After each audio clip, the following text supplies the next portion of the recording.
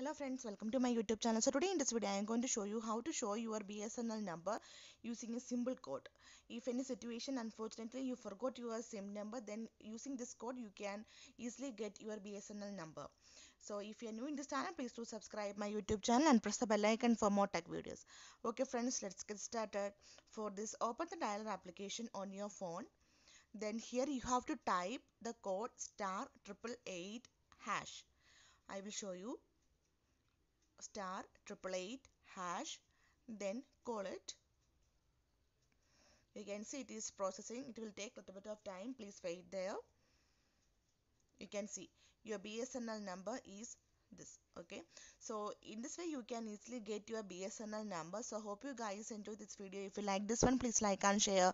And don't forget to subscribe the channel for more updates. Thank you for watching. Thank you